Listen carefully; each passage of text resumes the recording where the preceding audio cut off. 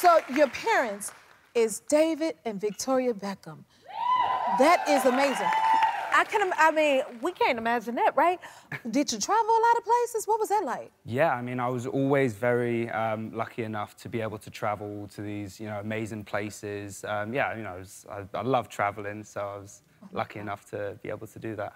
Now, when did you realize your parents were famous?